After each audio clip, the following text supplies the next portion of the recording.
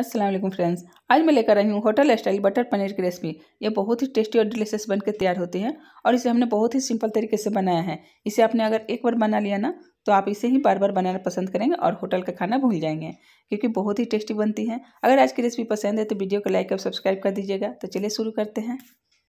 तो बटर पनीर बनाने के लिए हम यहाँ पर 300 ग्राम बटर ले लिए हैं, जिसे हमने इस तरह से क्यूब में कट कर लिया है। अब इसमें कुछ मसाले ऐड करेंगे। तो सबसे पहले इसमें हम डालेंगे आधी छोटी चम्मच कश्मीरी लाल मिर्च पाउडर और आधी छोटी चम्मच हल्दी पाउडर और आधी छोटी चम्मच हम डालेंगे कसूरी मेथी। अब इसे हम डाल के अच्छे से मिक्स करेंगे। तो हमने इसे अच्छे से मिक्स कर लिया है। अब इसे हम साइड रख लेते हैं, जब तक इसका हम मसाला तैयार करते हैं। तो इसके लिए हमने यहाँ पर दो रफली कटी हुई टमाटर ले लिए हैं और चार हरी मिर्च ले लिए हैं। अब एक मिक्सर जार ले लेंगे। अब इसमें हम टमाटर और हरी मिर्च को डाल देंगे। और इसका हम बारीक पेस्ट बना लेंगे। तो यहाँ पर देखिए हमने इसे बारीक पीस लिया है। अब इसे हम एक प्याले में निकाल देते हैं। और यहाँ पर देखिए हमने 10 से 12 काजू ले लिए हैं, जिसे हमने आधे घंटे के लिए गर्म पानी में भिगो कर रख दिए थे, ताकि ये अच्छे से सॉफ्ट हो जाए। अब एक मिक्सर जार लेंगे, इसे भी इसमें डाल देंगे। और साथ ही डालेंगे एक चम्मच तेल। इससे ग्रेवी में शाइनिंग भी आती है और ग्रेवी गाढ़ी भी होती है। अब इसमें हम थोड़ा सा पानी डालेंगे और इसका हम बारीक पेस्ट बना लेंगे। तो इसे हमने बारीक पीस लिया है। अब इसे हम साइड रख लेंगे। अब यहाँ पर हम ग्रेवी के लिए मसाला तैयार करेंगे। तो एक चम्मच हम लेंगे धनिया पाउडर, एक छोटी चम्मच कश्मीरी लाल मिर्च पाउडर, आधी छोटी चम्मच हल्दी पाउडर, आधी छोटी चम्मच जीरा पाउडर और एक चौथाई चम्मच हम लेंगे काली मिर्च का पाउडर। अब इसमें हम पानी डालेंगे और इसे अच्छे से घोल लेंगे। और इसे मिक्स करने के बाद थोड़ी देर के लिए हम साइड रख देंगे ताकि जो मसाले हैं अच्छे से फूल जाए। इससे ना इसकी टेस्ट बहुत ही अच्छी आती है। अब गैस के ऊपर हम एक कढ़ाई रखेंगे। इसमें हम डालेंगे दो चम्मच तेल और साथ ही डाल देंगे एक चम्मच बटर। और यहाँ पर हमने लिया है साबुत गरम मसाला, चार हरी इलायची, एक दालचीनी का टुकड़े, दो लौंग और दो तेज़पत्ता। और साथ ही डालेंगे आधी छोटी चम्मच जीरा, इसे थोड़ा सा हम फ्राई होने देंगे। और यहाँ पर हमने ले लिया है दो मीडियम साइज़ की बारीक कटी प्याज, इसे भी इसमें डाल देंगे। अब इसे हम अच्छे से फ्राई करेंगे, जब तक इसका गोल्डन कलर नहीं आ जाता। तो यहाँ पर देखिए, ये अच्छे से फ्राई हो चुका है। अब इसमें हम डालेंगे एक चम्मच अदरक लहसुन का पेस्ट, और इसे भी अच्छे से फ्राई कर लेंगे इसमें।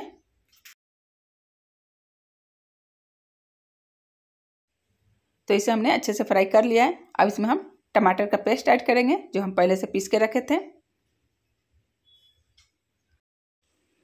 और इसे हमें अच्छे से फ्राई कर लेना है, जब तक कि इसका तेल सेपरेट नहीं हो जाता और इसका टमाटर का जो कच्चापन है, वो निकल नहीं जाता। तो यहाँ पर देखिए, आपको तेल दिखाई दे रहा होगा, तेल अच्छे से सेपरेट हो गया है, यानी कि टमाटर अच्छी से भून गया है। तो अब यहाँ पर हम ऐड करेंगे, जो हम मसाला को पानी में भिगो कर रखे थे ना, वो मसाला ऐड कर देंगे। देखिए, ये मसाला भी अच्छी तरह से फूल गया है। और मसाले को डाल के इसे भी हमें अच्छे से फ्राई कर लेना है। इसे हम ढक के फ्राई करेंगे। बीच बीच में ढक्कन खोल के चलाते रहेंगे। ये देखिए, इस तरह से। तो जब तक हमारा मसाला फ्राई हो रहा है, तब तक हम दूसरे साइड गैस के ऊपर हम एक तवा गरम करेंगे। इसमें हम डालेंगे एक चम्मच तेल और एक चम्मच हम बटर डाल देंगे। अब बटर को थोड़ा सा हम मेल्ट कर लेंगे इस तरह से। और यहाँ पर देखिए हमने पनीर ले लिया है, जिसे हमने मसाले के साथ मिक्स करके रखे थे। अब इसके ऊपर हम डाल देंगे। और इसे हम फ्राई कर लेंगे। तो इसे हमें लाइट फ्राई करना है, ज़्यादा डार्क नहीं करना है। तो जब तक ये फ्राई हो रहा है, तब तक हम मसाला चेक कर लेते हैं।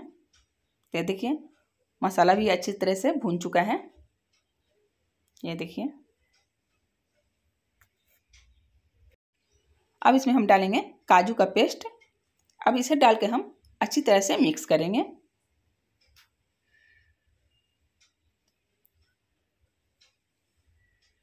कम से कम इसे हम एक से डेढ़ मिनट तक भून लेंगे। इसके छीटे उठते हैं तो इसलिए हम ढक के भूनेंगे। और यहाँ देखिए, यहाँ चेक कर लेते हैं तो ये भी अच्छे से फ्राई हो चुका है। ये देखिए, कितना अच्छा कलर आया है। तब हम गैस का फ्लेम बंद कर लेते हैं और यहाँ पर हम आ जाते हैं मसाले के पास। तो मसाले भी देखिए, ये भी अच्छे से भून चुका है।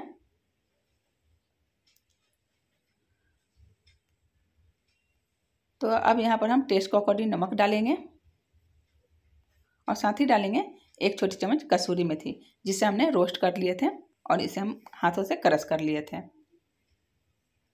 अब इसमें हम पनीर ऐड कर देंगे। अब इसमें हम डालेंगे दो से तीन चम्मच क्रीम। आप घर का भी मलाई यूज़ कर सकते हैं। जो दूध के ऊपर मलाई आती है ना, बस उसे आप ले लीजिए और इसे अच्छे से फेंट लीजिए या मिक्सर जार में डाल के उसे आप पीस लीजिए। अब इसे हम अच्छे से मिक्स करेंगे। तो यहाँ पर देखिए हमने इसे अच्छे से मिक्स कर लिया है। अब इसमें हम डालेंगे आधी छोटी चम्मच गरम मसाला पाउडर और इसे भी डाल के हम अच्छे से मिक्स कर लेंगे। अब इसे हम दो मिनट तक और इसे पका लेंगे। तो यहाँ पर देखिए, दो मिनट हो चुका है। बटर पनीर बन के रेडी हो चुका है। अब इसके ऊपर हम बारीक कटे हुए हरा धनिया डाल देंगे और इसे हम अच्छे से मिक्स कर लेंगे ताकि इसका जो फ्लेवर है अंदर तक चला जाए। तो देखिए, हमने इसे भी अच्छे से मिक्स कर लिया है। देख के कितनी टेम्पटिंग लग रही है ना। अब हम गैस का फ्लेम बंद करते हैं और चलिए इसे हम गर्मा गर्म सर्व करते हैं। तो ये लीजिए होटल स्टाइल गर्मा गर्म बटर पनीर बन के तैयार है। बहुत ही टेस्टी बटर पनीर बन के तैयार हुई है। एक बार मेरे तरीके से बटर पनीर मसाला ज़रूर बनाएँ, ये आपको बहुत पसंद आएगी। तो उम्मीद करती हूँ कि आज की रेसिपी आपको पसंद आई होगी। रेसिपी पसंद आई तो वीडियो को लाइक करें, अपने फैमिली फ्रेंड्स में भी शेयर करें और हमारे चैनल पर नए हैं तो चैनल को सब्सक्राइब करना ना भूलें।